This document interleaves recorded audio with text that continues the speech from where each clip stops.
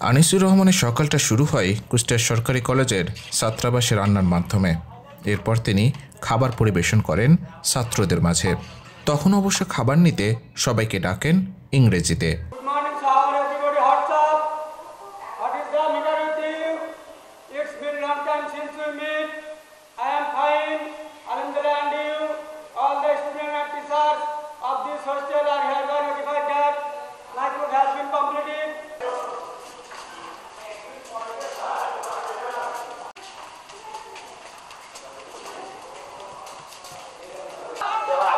profit.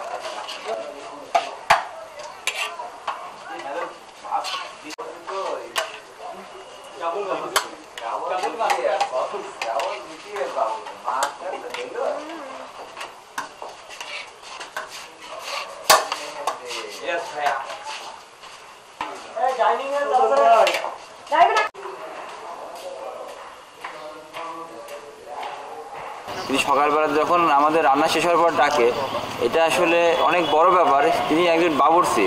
কিন্তু তিনি যখন ইংরেজিতে ডাকে, তখন মনে হয় তিনি একজন পরিপূর্ণ ইংরেজিতে অনার্স করেই এখানে আসছে। তার এই আসলে উজ্জ্বল দৃষ্টান্ত, তিনি একজন বাবুর্চি হয়েও যে কাজ করে যাচ্ছে এবং তার যে কথা বলার ভঙ্গিনী, তাকে দেখে কখনোই মনে হয় না তিনি কখনো বাবুর্চি ছিলেন। তার এই পেছনে কিন্তু একটি গল্প আছে। তিনি কিন্তু শুধু বাবুর্চিই না, তিনি কিন্তু ডাবল মাস্টার সে এই সরকারি কলেজ থেকে দুইবার মাস্টার শেষ করছে এবং আমার জানা মতে তিনি এখন ইসলামী বিশ্ববিদ্যালয়ে মাস্টার্স করছে।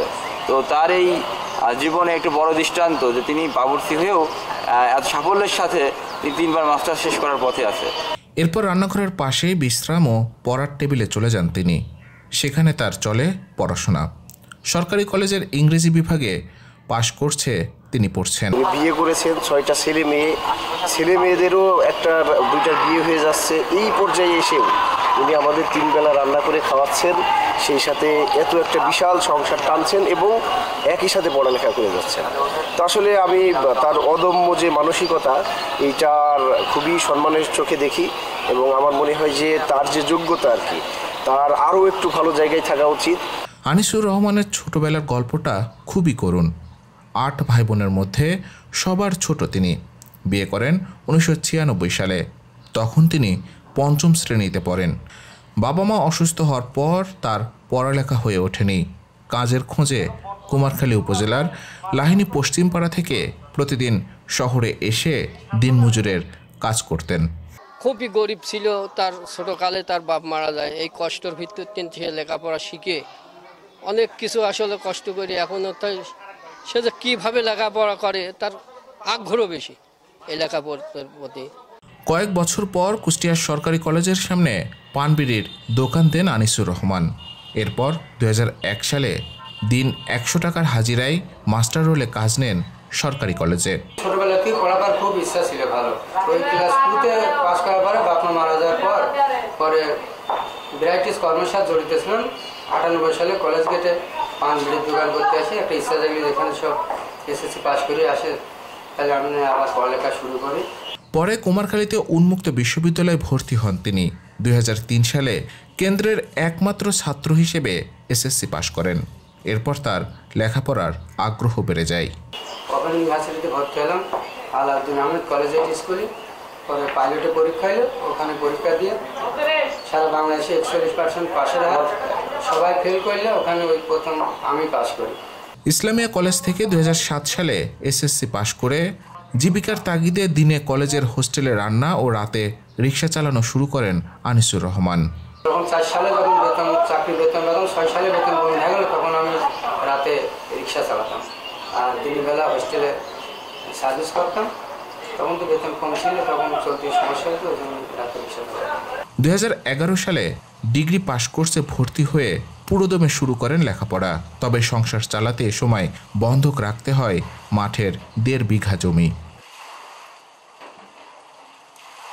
ইংরেজিতে পরপর তিন বছর ফেল করে হতাশ হয়ে পড়েন আনিসুর রহমান। পরের বছর বাউন্ন নম্বর পেয়ে দু হাজার ষোলো সালে ডিগ্রি পাশ করেন তিনি।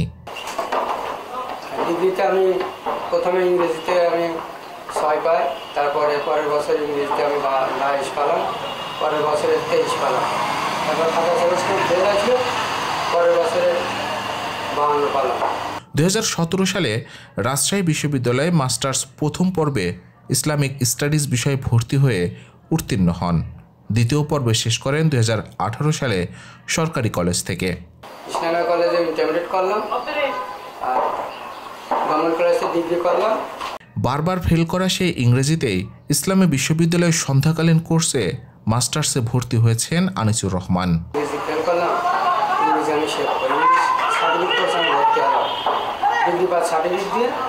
ওটা হচ্ছে অনার্সের সাবজেক্ট পড়া।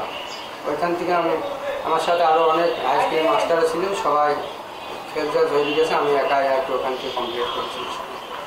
এখন পড়ালেখা আমার ইউনিভার্সিটিতে ইংরেজিতে সেকেন্ড ইয়ার কলেজের তিনবেলা রান্না ও লেখাপড়া করেও বাড়িতে গবাদি পশু পালনের পাশাপাশি বিকেলে এলাকার মসজিদে বিনা পারিশ্রমিকে অর্ধশত শিশুদের কোরআন ও বাংলা শিক্ষা দেন। এইসব সালবালের প্রতি কত আগ্রহ করি সালবাল পড়া বিনি আরবি পড়াই সে কোনো টাকা পয়সা নেয় না বিনি সে লেখাপড়া শেখাচ্ছে সালবালে একসময় খেয়ে না খেয়ে চরম আর্থিক অনটনের মধ্যে সময় পার করতে হয়েছে তাকে। ঠিকমতো ছয় ছেলে মেয়ের খাবার জোটাতে পারেননি তবে ছেলেমেয়েরা বাবার কাছ থেকে অনুপ্রেরণা নিয়ে এগিয়ে যাচ্ছেন।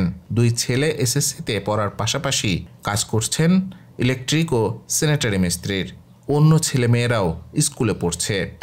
পড়াশোনাটা মনে করেন নিজের বয়সটা তো বিষয় না, সে পড়াশোনা করছে, আমাদেরও পড়াচ্ছে, বাসার সবাই পড়াশোনার মধ্যে আছে এক আম্মুবাদে আল্লাহ রহমতে সবাই যতদূর পারি পড়াশোনা চেষ্টা আছে, যতদূর পারি সাফল্য হওয়ার আমি মাস্টার্স ফার্স্ট কমপ্লিট করে ফেলছি একটা, ইউনিভার্সিটি চলছে।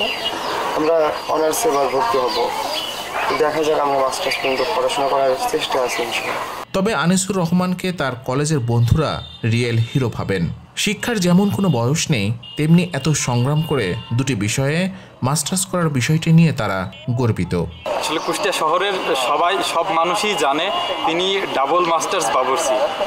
আসলে সে যে এই যে এত বয়স বয়স্ক অবস্থাতেও পড়ালেখা চালিয়ে যাচ্ছেন তার জন্য আসলে তাকে অসংখ্য ধন্যবাদ জানাই, এবং পড়ালেখার যে বয়স নাই কোনো, সেটা তারই জলযন্ত্র প্রমাণ কিন্তু তিনি একমাত্র। তার যে ইংরেজির প্রতি যে এতটা ভালোবাসা এবং ইংরেজির প্রতি যে তার এরকম মানে স্পৃহা, এটি আমাদের অত্যন্ত মুগ্ধ করে। সে যেটা করেছে পুরোটাই উল্টো। মানে মানুষ প্রথমে পড়াশোনা করে, তারপরে চাকরি করে তারপরে বিবাহ করে। কিন্তু তিনি প্রথম বিবাহ করেছেন তারপরে চাকরি করেছেন তারপরে বিবাহ করেছেন তারপরে বাচ্চা কাচ্চা হয়েছে তারপরে হচ্ছে তিনি পড়াশোনা প্রতি আগ্রহ হয়েছেন। শিক্ষকরাও তার গুণের প্রতি আকৃষ্ট হয়ে তাকে ভালোবাসেন। আমাদের এখানে একজন কর্মচারী নাম আনিচুর রহমান হোস্টেলে উনি বাবুর্চির কাজ করেন। তো তার একটি নেশা আছে যে শিক্ষা গ্রহণ, শিক্ষা বিস্তার ইত্যাদি ক্ষেত্রে। নিজে গ্রাজুয়েশন কমপ্লিট করেছে পর্যায়ক্রমে, ধাপে ধাপে প্রাইভেট পরীক্ষা দিয়ে পরবর্তীতে ইসলামী শিক্ষা বিভাগ থেকে মাস্টার্স কমপ্লিট করার পরে এখান থেকেই আবার ইংরাজিতে এম করার জন্য সার্টিফিকেট কোর্স সম্পন্ন করেছেন উনি। এবং পরবর্তীতে আবার ইংরেজিতেও উনি মাস্টার্স কমপ্লিট করবেন এমন একটি তার ইচ্ছা আছে।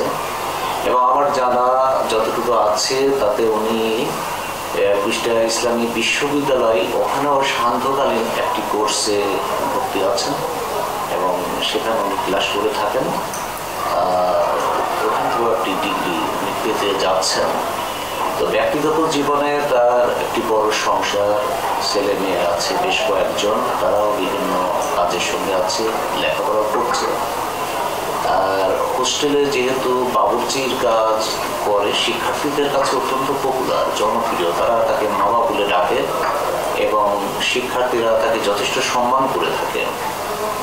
তো কর্মচারী হিসেবে আনিসুর রহমানের অনেক গুণ আছে। তারপরও তাকে আমরা হোস্টেলে রেখেছি, কারণ শিক্ষার্থীরা তাকে খুব পছন্দ করেন এবং উনিও শিক্ষার্থীদের সাথে এই কাজেই খুব আনন্দ বোধ করে থাকেন।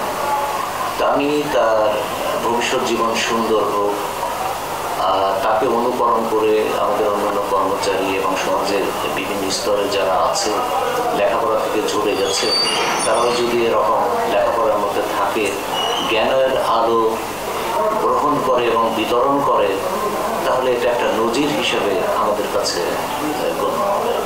এদিকে বাবার লেখাপড়া ও কাজ নিয়ে গর্বিত তার স্ত্রী ও সন্তানেরা গর্বিত এলাকাবাসীও। সে রাতে দিনে রিক্সাও চালাইছে কলেজে চাকরি করছে ডিউটি করছে ওখানে আবার বাড়ি আসি গরু গরু পড়ছে মানে বিভিন্ন কাজ করছে। করার পরও সে শিক্ষার জগৎটা সারি নাই। এখনও সে লেখাপড়া করেই যাচ্ছে। তার যে আমরা কীভাবে গর্বিত আসলে ওকে প্রশংসা করি আমরা শেষ করতে পারিনি।